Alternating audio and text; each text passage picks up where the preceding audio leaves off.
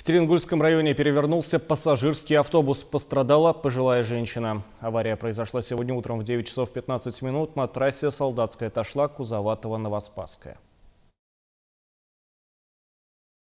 По предварительной информации, водитель пассажирского автобуса не справился с управлением, в результате чего совершил съезд с дороги в левый по ходу движения кювет с последующим опрокидыванием.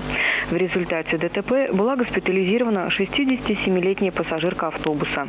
Еще один пассажир, мужчина 30 лет, обращался за медицинской помощью, отпущен домой.